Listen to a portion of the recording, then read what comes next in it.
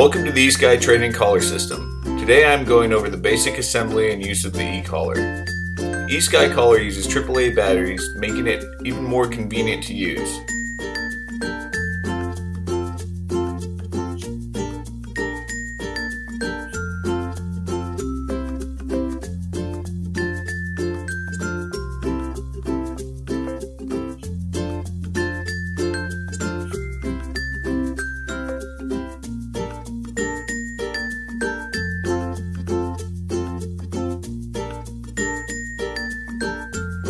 After screwing in the prongs, test the collar and remote using the test light provided.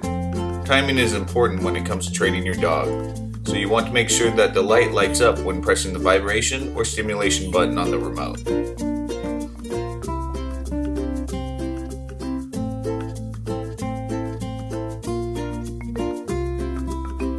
Properly fit the collar receiver to your dog. Before you put the collar on your dog, make sure the receiver is turned off. Have your dog stand comfortably. Place the collar receiver on your dog's neck, close to the ears. Center the contact points underneath your dog's neck to touch the skin.